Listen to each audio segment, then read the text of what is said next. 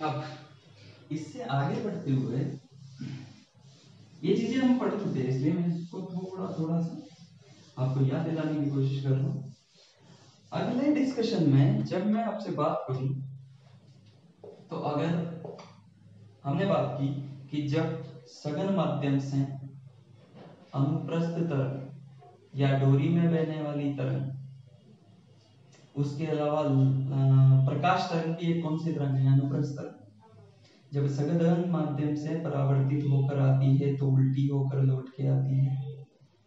और विरध माध्यम से परावर्तित होकर आती है तो सीधी की सीधी आती है। अर्थात सगद माध्यम से परावर्तन पर अनुप्रस्थ तरंग में पाई का चेंज आता है। कितने का चेंज आता है? पाई का चेंज आता है। जबकि विरल माध्यम से परावर्तित होने पर उसमें पाए का चेंज नहीं आता था। ये बात थी किसकी? अनुप्रस्थ तरंग की। अब अगर मैं अनुदैर्घ्य तरंगों में इसमें अनुदैर्घ्य तरंगों में परावर्तन की बात इसकी बात करूँ? परावर्तन की। तो अनुदैर्घ्य तरंग अनुदैर्घ्य तरंग मतलब ध्वनि तरंग।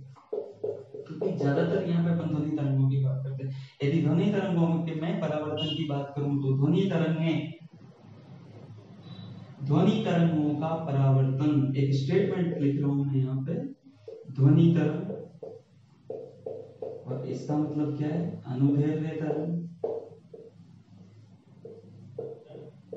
तरंग का परिवर्तन। अनुप्रस्थ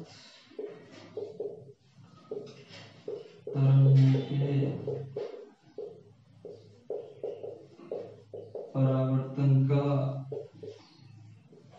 ठीक उल्टा होता है। क्या लिखा हुआ है? ध्वनि तरंग मतलब अनुदैर्घ्य तरंग का परावर्तन, अनुप्रस्थ तरंगों के परावर्तन का ठीक उल्टा होता है। अब उल्टा कैसे? शब्द पे ध्यान देना। कि अनुप्रस्थ तरंगों में, किसमें? अनुप्रस्थ तरंगों में सघन माध्यम से परावर्तन होने पर पाई का चेंज आता था। अब जब हम बात करेंगे किसमें? अनुदैर्घ्य तरंगों में। जब ये सघन माध्यम से परावर्तित होकर आएँगी तो इनमें पाई का चेंज नहीं आएगा। इनमें पाई का चेंज नहीं आएगा। अनुदैर्घ्य तरंगें जब सघन माध्यम से परावर्तित होकर आएँगी तो इनमें पाई का चेंज नहीं आएगा। इनमें पाई का चेंज कब आएगा? जब ये विरल माध्यम से परावर्तित होकर आएँगी। बहुत इंपॉर्टेंट बात। ध्वनि तरंगे कौन सी तरंग है? अनुदैर्घ्य तरंग है। इनमें जो परावर्तन होता है, वो अनुप्रस्थ तरंगों के परावर्तन का ठीक उल्टा है। क्लियर अब इसका मतलब क्या हो कि धर्मनी तरंगें जब सघन माध्यम से परावर्तित होकर आती है तो इनमें पाए का चेंज नहीं आता। इसका सीधा सीधा मतलब क्या है कि जब चूँकि ध्वनि तरंगें एक अनुदैर्घ्य तरंगें और अनुदैर्घ्य तरंगे किसके रूप में चलती है? बताओ कंप्रेशन और रेयर रेयरफेक्शन किसके रूप में? कंप्रेशन एंड रेयर रेयरफेक्शन संपीड़न तथा वृलन अब क्योंकि ये जब सघन माध्यम से परावर्तित होकर आएगी तो इनमें पाई का चेंज नहीं आएगा। इसका मतलब कंप्रेशन जो कंप्रेशन अगर परावर्तित होकर आया तो किसके रूप में आएगा? कंप्रेशन कंप्रेशन ही आएगा और रेयरफेक्शन रेयरफेक्शन ही आएगा। अर्थात संपीड़न संपीड़न के रूप में लौटेगा और विरलन विरलन के रूप में लौटेगा। जबकि अगर यही ध्वनि तरंग विरल माध्यम से टकराकर आती या परावर्तित होकर आती तो कंप्रेशन लौटता किसकी तरह? रेयरफेक्शन की तरह। और रेयरफेक्शन लौटता किसकी तरह? कंप्रेशन की तरह। क्योंकि अनुदैर्घ्य तरंगों में परावर्तन होने पर किससे सघन से। पाई का चेंज नहीं आता। चेंज कब आता है? जब ये विरल माध्यम से परावर्तित होकर आती है। बहुत इंपॉर्टेंट बात आपको याद रखनी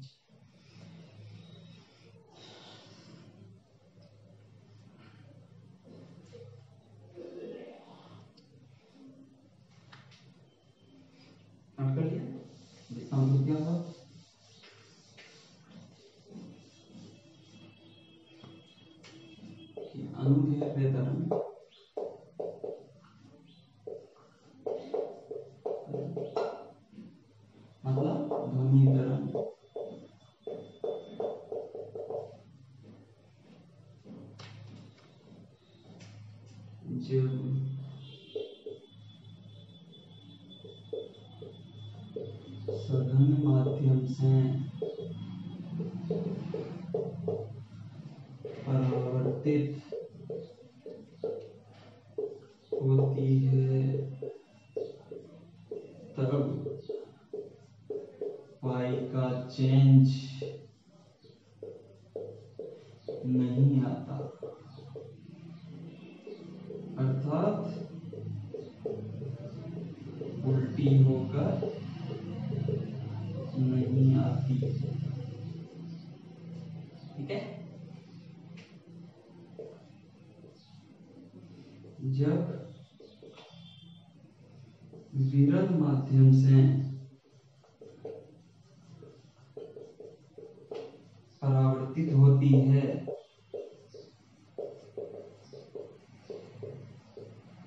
तब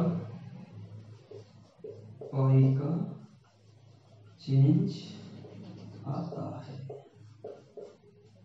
अब इसका मतलब क्या होगा? अर्थात उल्टी होकर नहीं आती। इसका मतलब होगा कंप्रेशन लौटेगा कंप्रेशन की तरह और रेयर फ्रिक्शन लौटेगा रेयर फ्रिक्शन की तरह।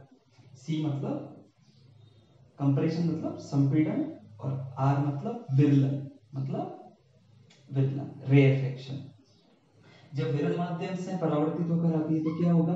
कंप्रेशन लौटेगा रेयर फ्रिक्शन की तरह और रेयर फ्रिक्शन लौटेगा कंप्रेशन की तरह। नोट करो इसको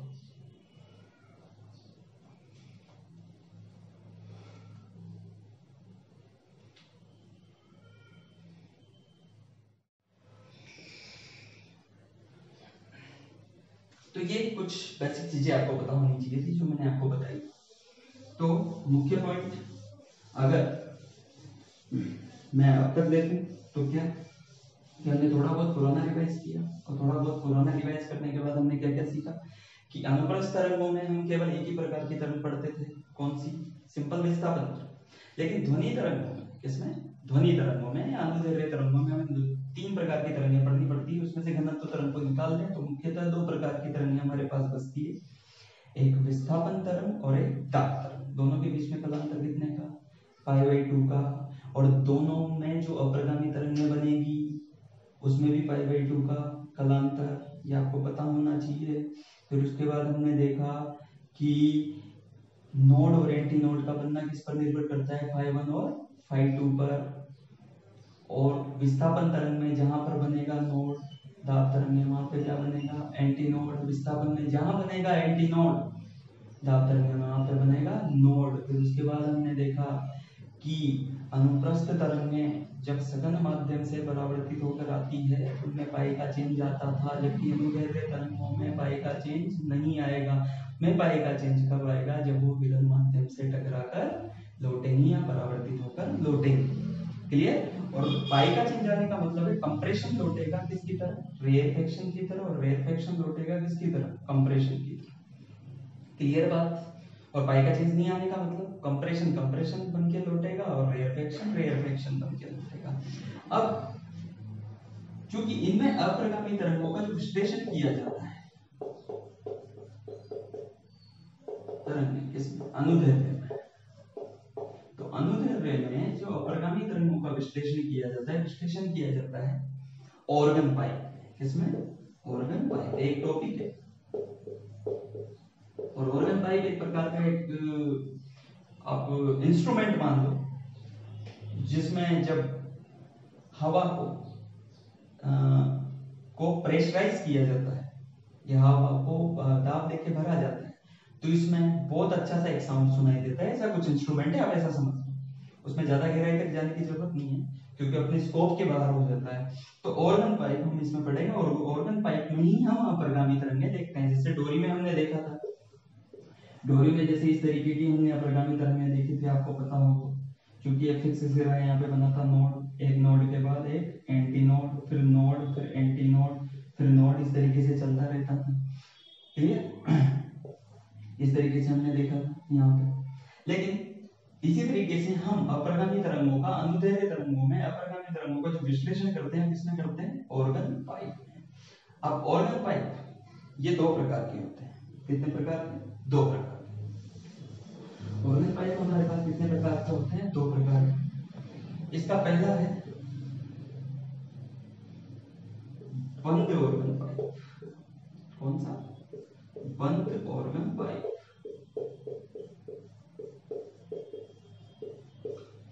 इसे बोला जाता है क्लोज्ड।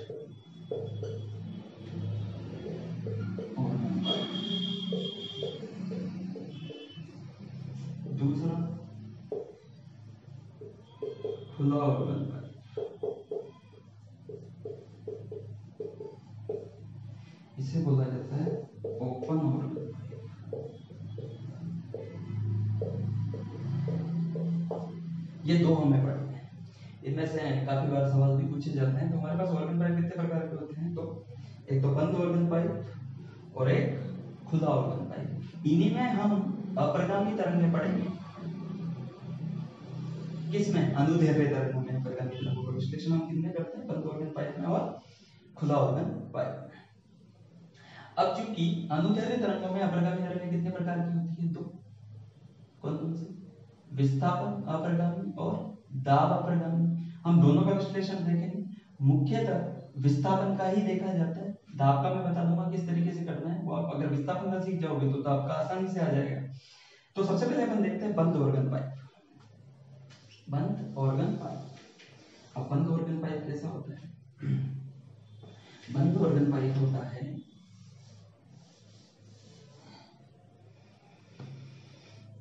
ये। बंद ऑर्गन पाइप में एक सिरा बंद होता है, दोनों सिरे बंद नहीं होते? एक सिरा बंद होता है, इसके अंदर क्या होता है? वायु।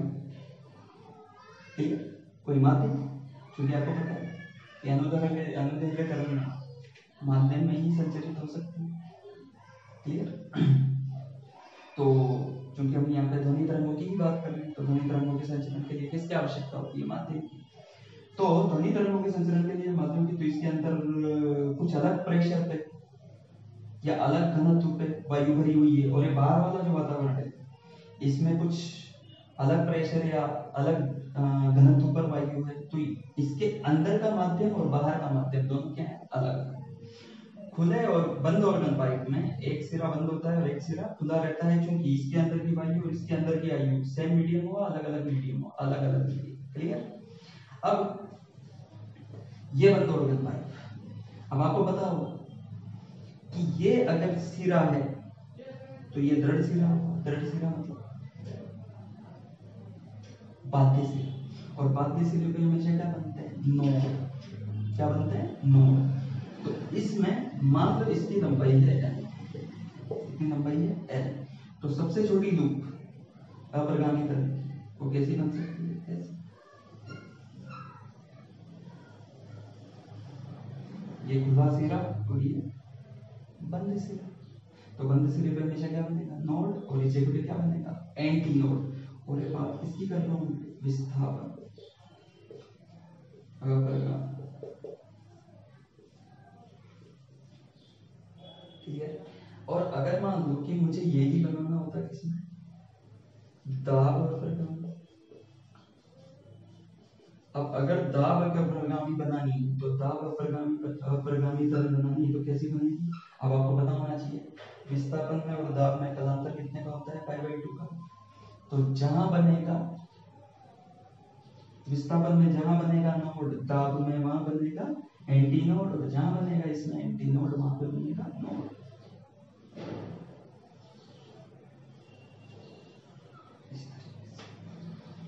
क्लियर बात ये सबसे छोटी लूप संभव अब चूँकि ये एल है, एक नोड और एक एंटी नोड के बीच की दूरी कितनी होती है? लेमडा बाई फोर तो यहाँ पे मैं एल बराबर क्या लिख दूँगा? लेमडा बाई फोर तो लेमडा बराबर कितना आ चार एल आपको पता हो एल बराबर क्या होता है? V upon P upon lambda तो बी मतलब वेलोसिटी ऑफ़ साउंड तो वी अपॉन लेमडा और लेमडा की जगह क्या लिखते हैं? फोर एल तो एफ़ बराबर कितना आ जाएगा? एस बाई फोर इसे बोलेंगे हम लोग क्या? मूलभूत आवृत्ति। कौन सी आवृत्ति? मूलभूत आवृत्ति। फंडामेंटल फ्रीक्वेंसी क्लियर इसे बोलेंगे हम फंडामेंटल फ्रीक्वेंसी नोट करो इसे।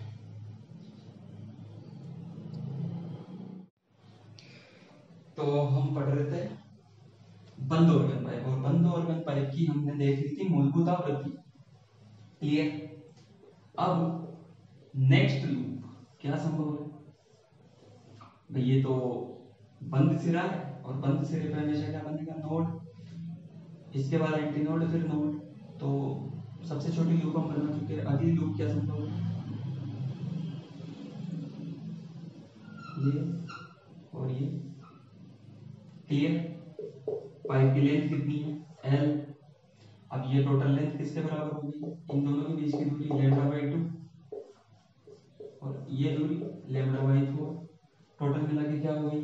एल बराबर lambda by two plus lambda by four clear L बराबर कितना हो गया? बताओ। कितना? थ्री लेमडा बाई फोर तो लेमडा बराबर कितना four L by three again जो इस लूप की जो आवृत्ति होगी, क्या होगी? एफ़ बराबर वी एस बाई लेमडा और लेमडा की जगह क्या लिखोगे four L by three three कहाँ चला जाएगा? ऊपर. तो ये कितना हो गया three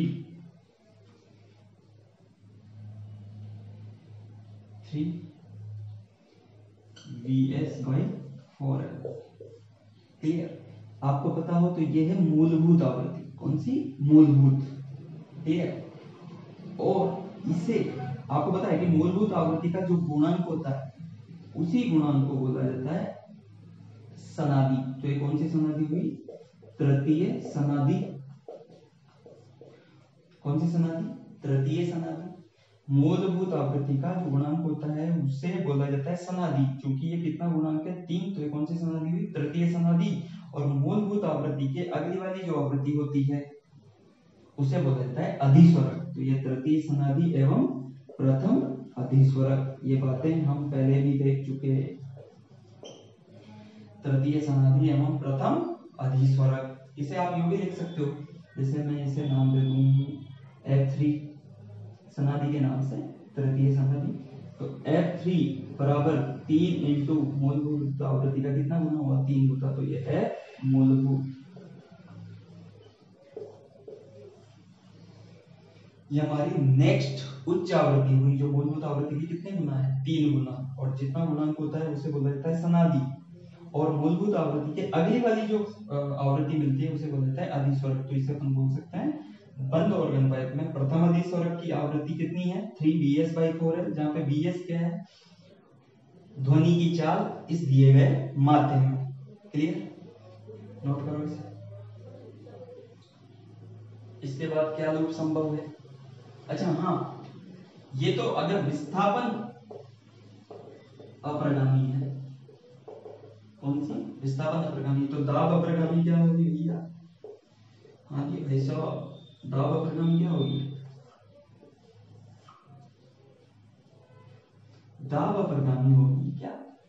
जहाँ बनेगा आपको पता है विस्थापन में जहाँ बनता है नोड? दाब में वहाँ बनेगा एंटी नोड तो ये कैसा बनेगा?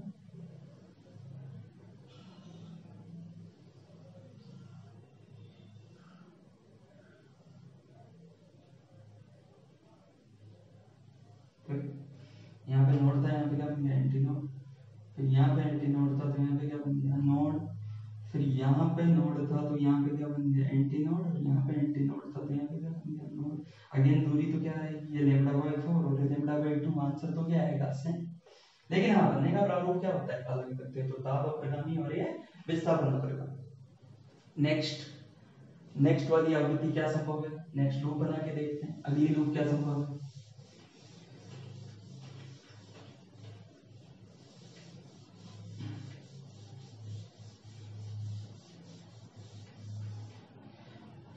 में क्या संभव है, सर? तो अभी मैं बना रहा हूँ विस्तार तो अभी विद्युत तो क्या संभव लेंथ तो क्या रहेगी एल एक, दो और तीन। ये कितना हो गया? Lambda by two lambda by two और लेमडा बाई टोटल लेंथ कितनी है? एल तो एल बराबर कितना हो है? Lambda by two, lambda by two, lambda. Lambda plus, lambda by four, कितना हो गया? Five, lambda by four. तो लैम्डा बराबर कितना आ गया? Four L by five. अगर अगेन मैं अगली आवृत्ति देखूँ तो इसे पाँच नाम दे देते हैं। बाद में देते हैं नाम। एफ़ बराबर कितना हो जाएगा? V S upon lambda lambda की जगह क्या लिख देंगे? वी एस अपॉन लैम्डा तो वी एस अपॉन लैम्डा की जगह क्या लिख दोगे? फोर एल अपॉन फाइव पाँच का बदल देगा ऊपर ये अगेन मूल आवृत्ति तो इसे नाम दे देते हैं पाँच। एफ़ फाइव बराबर पाँच है मूलभूत। तो मूलभूत की कितनी गुनी? पाँच गुनी। आपको पता है, जितना गुना होता है, उसे बोला जाता है सनादि तो कौन सी सनादि पंचम सनादि और द्वितीय अधिस्वरक प्रथम अधिस्वरक इससे पहले वाला था कौन सा? द्वितीय अधिस्वरक क्लियर देखो ध्यान से अब इसी तरीके से अगर आप एन लूप भी बना लो, इसमें तो आप बना सकते हो। अच्छा इसमें जो दाब तरंग होगी, वो कैसी होगी?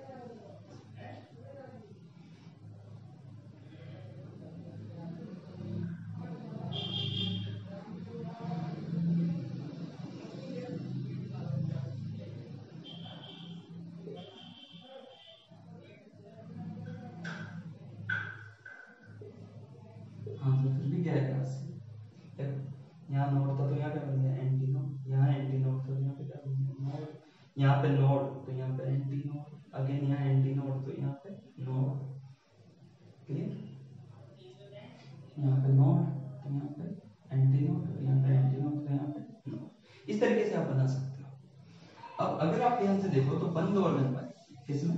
बंद और गन पाई। जो आवृत्तियों का अनुपात है, वो क्या है? बंद और गन पाई में।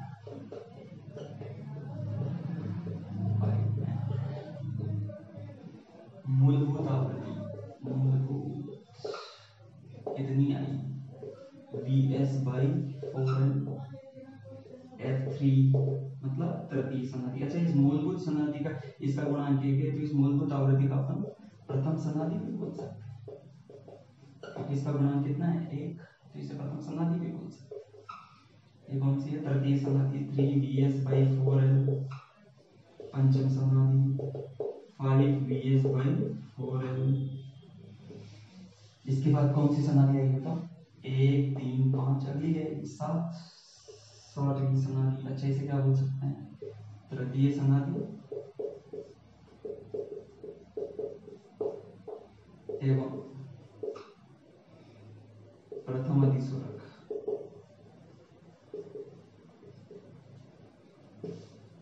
ये वाली क्या होगी बताओ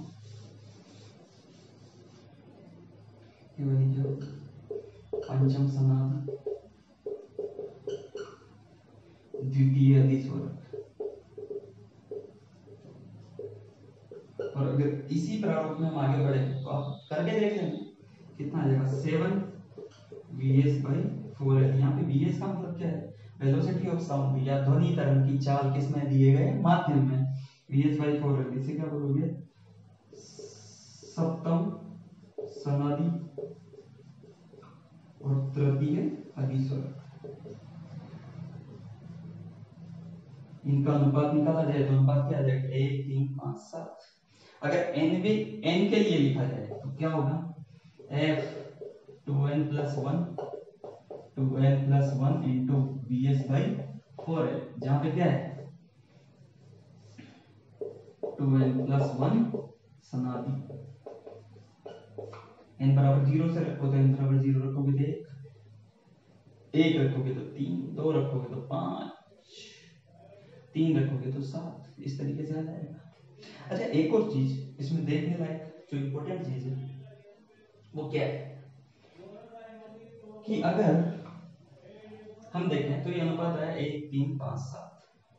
है? और इसी के प्रारूप में हम क्या देखते हैं? अधिस्वरक तो आपसे पूछा जाए कि साहब नवी सनादि क्या हो तो नवी सनादि साधु के बाद वाली होगी। तो इसी प्रारूप में आप इसे याद रख सकते हो। क्लियर बात? चलो, देखो ध्यान से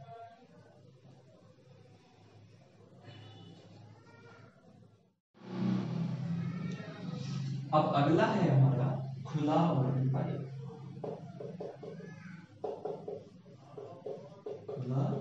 ऑर्गन पाइप अब खुला ऑर्गन पाइप क्या होगा? खुला ऑर्गन पाइप होगा, जो दोनों तरफ़ से क्या है? खुला हुआ। दोनों तरफ़ से क्या हुआ खुला हुआ। अब दोनों तरफ़ से जो खुला हुआ है, इस पाइप की लेंथ कितनी है? इसमें भी अंदर और बाहर का माध्यम क्या मान के चलोगे अलग अलग। क्योंकि आपको लग रहा होगा कि दोनों तरफ़ से खुला हुआ है तो माध्यम अलग अलग कैसे होगा? लेकिन यहाँ पे चूँकि घनत्व वायु का कुछ अलग है और बाहर कुछ अलग है तो इसके अंदर का माध्यम और माध्यम क्या होगा? अलग अलग। इसका मतलब यहाँ से मान लो वायु इधर जा रही है तो ये बाउंड्री होगी टोटल ठीक है? तो ये दोनों माध्यमों को अलग अलग करने वाली क्या है? बाउंड्री ठीक है? यहाँ से मान लो किसी ने अनुदैर्घ्य तरंग को अंदर भेजा तो यहाँ पे संचलित हुई और संचलित होने के बाद दो माध्यमों को अलग करने वाली, पृथक करने वाली सतह पर परावर्तित होकर आएगी। तो अल्टीमेटली क्या होगा एक जाने वाली तरंग और एक आने वाली तरंग मिलकर क्या बनाएगी? अप्रगामी तरंग। अब मैं सबसे पहले बना रहा हूँ। कौन सी? इसमें दो देखते हैं। एक तो विस्थापन तो इसकी मूल मूल लूप। विस्थापन तो इसका मूल लूप क्या बन सकता है? आपको पता है, खुले सिरे हैं। खुले ऑर्गन पाइप में दोनों सिरे खुले रहते हैं। इससे पहले हमने देखा था, बंद ऑर्गन पाइप बंद ऑर्गन पाइप में एक सिरा बंद रहता है। खुले सिरों पर क्या बनते हैं? एंटी नोड बंद सिरों पर क्या बनते हैं? नोड क्योंकि यहाँ पे दोनों सिरे क्या है? खुले हुए तो यहाँ पे क्या बनेंगे? एंटी नोड और दो एंटी नोड के बीच में क्या बन जाएगा? नोड तो सबसे मूलभूत तो यही बन सकता है ना। इसकी लेंथ कितनी है? एल तो ये सबसे मूलभूत है। तो इससे संबंधित जो आवृत्ति हुई होगी? मूलभूत आवृत्ति। अच्छा ये दूरी कितनी लेमड़ा बाई फोर ये दूरी भी कितनी? लेमड़ा बाई फोर क्योंकि ये एंटी नोड और ये नोड ये नोड और ये एंटी नोड इन दोनों के बीच की दूरी लेमड़ा बाई फोर इन दोनों के बीच की दूरी लेमड़ा बाई फोर तो एफ़ मूलभूत क्या होगी? वी एस मतलब चार अपॉन लेमड़ा अब यहाँ से एल बराबर कितना लिखोगे? लेमड़ा बाई फोर और लेमड़ा बाई फोर कितना लेमड़ा बाई टू एल बराबर लेमड़ा बाई टू तो लेमड़ा बराबर कितना आएगा ट्वेल्व इसमें रखोगे तो मूलभूत कितनी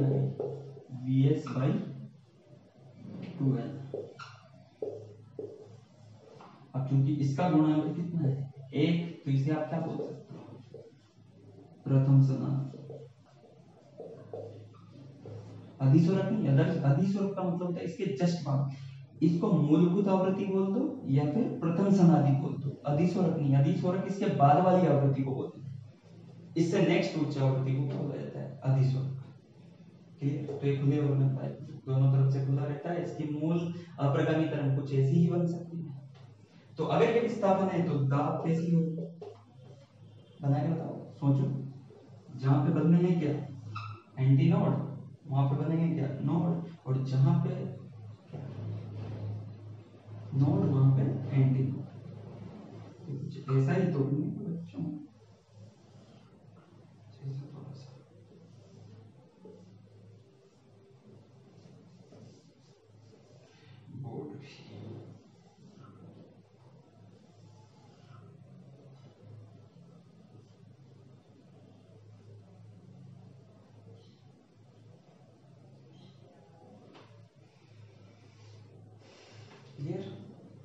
इसके अंदर का माध्यम और बाहर वाला माध्यम, ठीक है? अलग। तो स्टाफ प्रति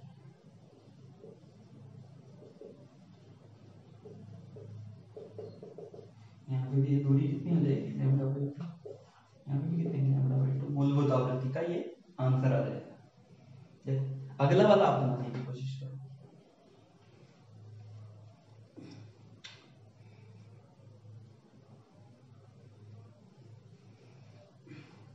अच्छा अगली आवृत्ति क्या होगी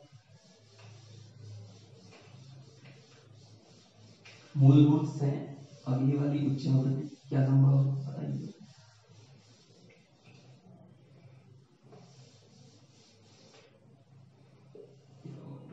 खुला वाला दोनों तरफ़ बचा क्या बने एंटी विस्थापन यदि विस्थापन हम्म, पहले रूम बनाए ये ये ये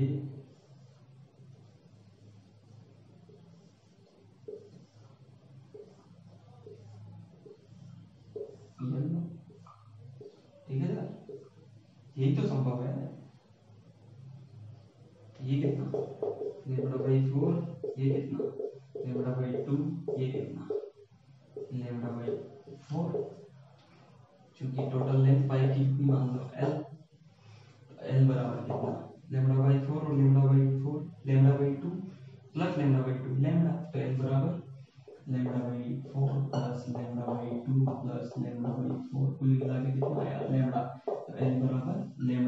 मतलब एफ़ अगली वाली जो आवृत्ति है एस बाई लेमड़ा और लेमड़ा ये जगह इससे क्या मैं लिख सकता हूँ? क्या दो से ऊपर नीचे मल्टीप्लाई कर भाई अल्टीमेटली क्या आया था? एस बाई लेमड़ा लेमड़ा की जगह क्या लिख दिया? एल तो एस बाई एल दो से ऊपर नीचे गुणा कर दो। दो से ऊपर नीचे गुणा करोगे तो ये तो मूलभूत आवृत्ति हो गई ना। तो इसे अपन एफ़ टू नाम दे देते हैं तो क्या हो जाएगा? टू एफ़ मूलभूत। क्योंकि ये मूलभूत आवृत्ति की अगली आवृत्ति है, इसलिए प्रथम तो क्या हुआ? अधिस्वरक और सनादि कौन सी हुई? द्वितीय। द्वितीय सनादि क्लियर देखो ध्यान से। तो ये खुला ऑर्गन पाइप और इससे करने वाला बंद ऑर्गन पाइप होता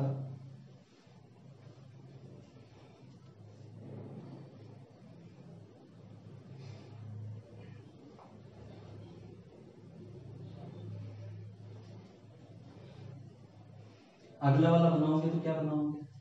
चलो बनाओ। अगला वाला क्या संभव है?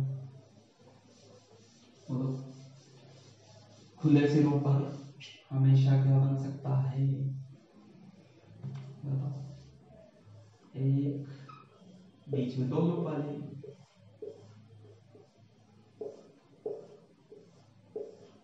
कितना होगा। Lambda by four lambda by two lambda by two और लेमड़ा बाई फोर।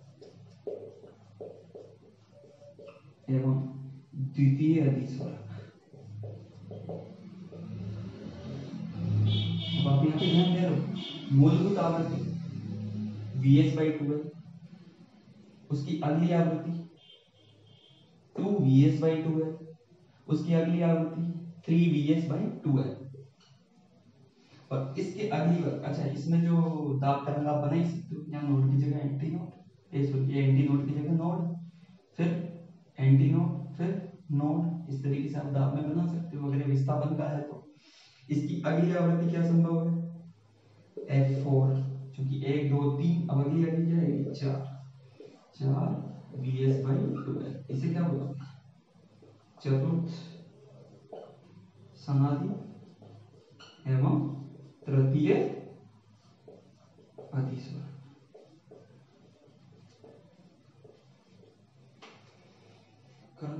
एन के लिए भी तब भी बन जाएगा।